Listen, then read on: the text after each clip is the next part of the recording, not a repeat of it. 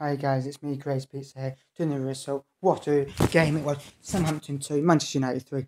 Manchester United played so well in the first half, missed loads of chances, and we had a good chance with Mason Greenwood, but he had a defender, but he couldn't score. Hit the side netted, and he got substituted for Cavani. Man United missed loads of chances. Southampton get them fouling us, fouling us, and then we had a good chance when the goalkeeper kicked it straight to Mason Greenwood, and then he ran and missed a double, and then he made a went back and made a double save, and Man United messed up. Southampton missed a few chances, and the first half, David De Gea made great saves. Man United's defence was so bad. The corner took the corner and headed it and scored it. Don't know how they scored that corner. Don't know how they scored that corner.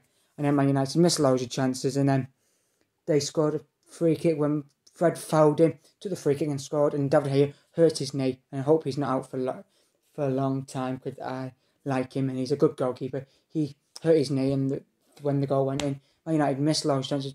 Southampton get done fouling us. Southampton were all over us. Dean Henderson came in the second half, made uh, great saves, and then Cavani scored two fantastic goals. But Bruno scored to get us back in the game, and then he scored two fantastic goals, scoring in the 90 minute. What a day it was! 3 2. What a game it was. In the second half, we missed loads of chances. We get done missing and missing. Fred had a good chance stretched his leg out, but he couldn't get there. And Rashford missed a good chance. And Rashford ran. He thought he wasn't going to keep the ball in, and he did. Kept the ball in. And then what a game it was. Manchester United missed loads of chances. And, that, and Southampton missed a few chances as well. But we won. I'm glad we've won. We're seventh in the league. Thanks for watching, guys. Please wait to leave like and subscribe. And I'll see you next time on Wednesday for Paris Saint Germain game. And I hope Man United win that. I'll say 2 1 to United again.